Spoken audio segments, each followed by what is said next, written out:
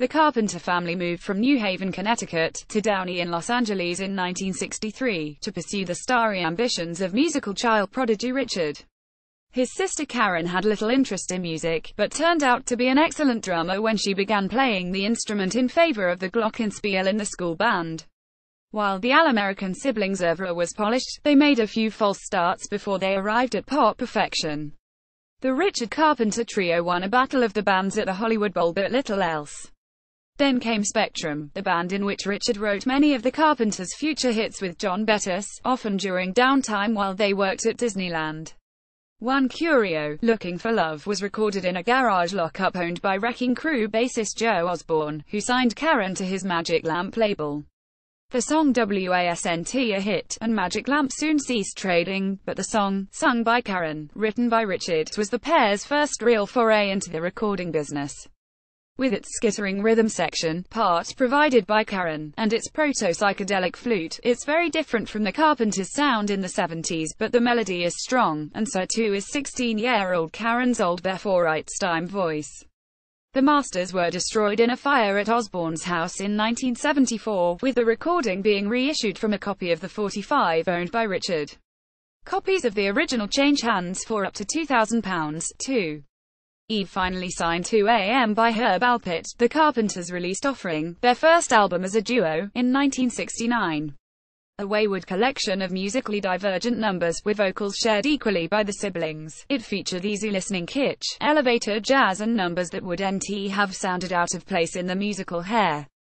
It was a commercial and critical flop on its initial release. There are moments that hint at what was to come, though, namely Someday, Ticket to Ride the Lennon and McCartney tribute, which charted modestly in Eve, a standout power ballad by Carpenter and Bettis that would NT have sounded out of place on any of the future albums. The song starts with a plodding, plaintive piano and Karen's rich alto, before she drum rolls in and takes things up a notch. Richard's chops as an arranger come to the fore in the second verse when his accompanying harpsichord takes the emotive ballad into the realms of baroque pop. Although it would be unfair to say Karen struggles with the higher notes, SHES clearly more at ease in the lower register, what her voice lacks in range, it makes up for in raw, demonstrative soul. Karen apparently always considered herself a drummer who sang, discovering she had a captivating voice only when a music teacher told her to try singing an octave lower. Richard and Karen in Copenhagen in 1974. Photograph Jan Persson Redfern's 3. They long to be close to you. Richard's genius as an arranger is evident on They Long to Be Close to You, a song offered to Alpert by Burt Bacharach, which he suggested his proteges cover because he didn't want to sing the words Moon Dust in Your Hair himself. It had been recorded by the actor Richard Chamberlain and had also been a Dionne Warwick B-side from 1965. Listen to the Warwick version and you'll notice the syncopation, featuring airy staccato plinks, rather elongates the phrasing.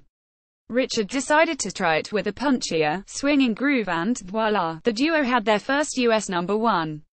Bacharach conceded that the reimagining was exactly what his song needed. Incidentally, many assume the flugelhorn solo is by Alpert, but he was unavailable, and Chuck Findley was drafted in to imitate the distinctive style of the Tijuana brass legend. 4. Rainy Days and Mondays The Carpenters' next big hit, We've Only Just Begun started life as a bank commercial, written by AM in-house writing team Paul Williams and Roger Nichols. Soon the Carpenters had their second million dollar and a pair of Grammys followed. The duo stuck with Williams and Nichols for 1971's Rainy Days and Mondays, a song that showcases Karen's gift for conveying pathos as the poster girl for suburban noir. AM once championed the Carpenters' wholesome image and natural, unpretentious personalities in a press release, and claimed their music heralded the three H's, hope, happiness, harmony. In truth, they probably channeled the Fives B's, the Beach Boys, Burt Bacharach and the Beatles, but Richard's arrangements and Karen's voice provided an edge not immediately apparent in the music. The combination of her rich, depressed mezzo and lyrics such as What I've Got they used to call the blues combined to create a three and a half minute hit with considerable emotional heft, especially from such a folksy duo accused of peddling instant nostalgia. 5. Superstar of all the Carpenters songs, Superstar is the raunchiest, and possibly the most melancholic, too. Sung from the perspective of a fan, the original by Delaney and Bonnie was called Groupie Superstar. The implication is that the singer has either been duped or is delusional about a romantic connection with a pop idol. Certainly the chorus Don't you remember you told me you loved me, baby you said you'd be coming back this way again, baby would be almost comical sung by anyone other than Karen, and the insistent baby, baby, baby, baby, oh, baby, I love you. I really do would add a whiff of desperation if she didn't sound so world-weary and haunted. The track originally featured the Risque line, and I can hardly wait to sleep with you again, which Richard changed to be with you again, ensuring plenty of airplay although the suggestive what to say to make you come again stayed. The song was written by Bonnie Bramlett and Leon Russell, but it's fair to say the Carpenters owned it with their version. Sonic Youth covered it memorably on a tribute album to the duo in 1994 called If I Were a Carpenter, although Richard is reported to have said he didn't care for their update. 6. Goodbye to Love another original Carpenter Bettis composition. The inspiration came from an imaginary song in a 1940 Bing Crosby movie, Rhythm on the River. Goodbye to Love is alluded to but we never hear it. Richard decided to write that song, featuring a lyric no one ever cared if I should live or die time and time again the chance for love has passed me by that would NT have sounded out of place in a Smiths song. Released in 1972, it features a guitar solo from Tony Peluso that burns. Back when music made with guitar, bass and drums was considered to be the only sound of authenticity and bands were supposed to pay their dues, the Carpenters were anathema to high-minded rock fans. A vaporizing solo in the middle of a pop souffle caused much consternation then. The start of my appreciation of the Carpenters was hearing Goodbye to Love, wrote journalist John Tobler, and what made it so astonishing for me was the guitar solo towards the end of the record, which could easily have been played by some progressive hero of the ilk of Jimmy Page or Jeff Beck. A few years later, attitudes had changed slightly. Writing in Phonograph Record, Ken Barnes said it's certainly less than revolutionary to admit you like the Carpenters these days. In rock circles, if you recall, it formerly bordered on heresy. Everybody must be won over by now. 7. Yesterday once more in 1973, the duo tried to shake up the formula by bringing back Karen on drums for the album Now Then. She hadn't played on record since Offering, although she did play many of the pacier numbers live. As reformations go, it was hardly earth-shattering. The pair were still releasing melodic, melancholy ballads pitched at 50 beats per minute, and Yesterday Once More, with its titular nod to the past, practically acknowledged that the Carpenters were in the business of instant classics. On the single version, Karen manages to make every shingling that they're starting to sing sound heartbreaking, but the 18 and a half minute medley on the B-side of Now Then featuring Da Doo Ron Ron, Night of a Thousand Eyes and Fun, Fun, Fun is all kinds of wrong.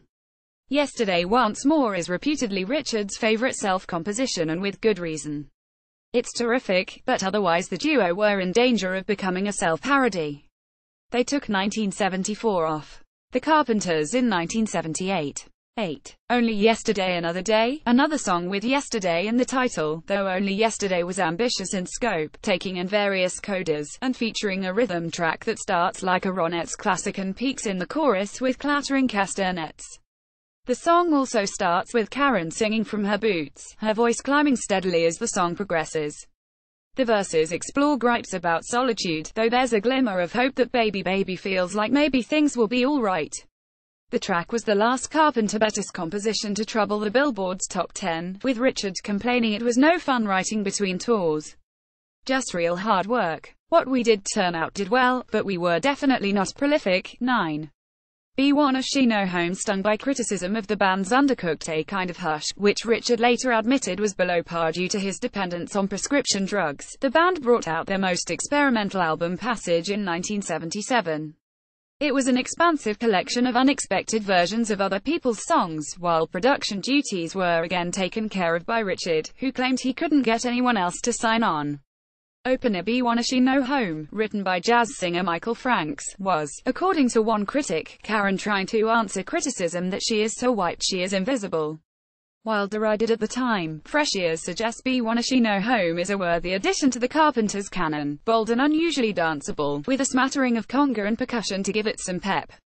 It's the sound of session musicians being set free and often errs into dark places, but it always manages to remain in the vicinity of good taste. 10.